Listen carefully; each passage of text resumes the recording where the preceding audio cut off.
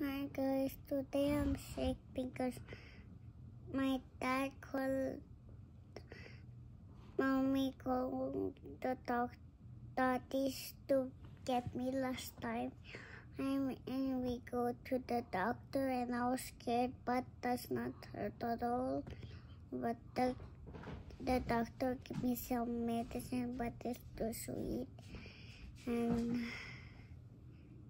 and I guess don't have.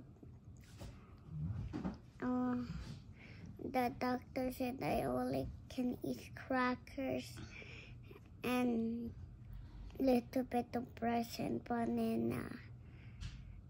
Can you hit that like button for me and hit the subscribe button? And bye bye guys. See you on my next video.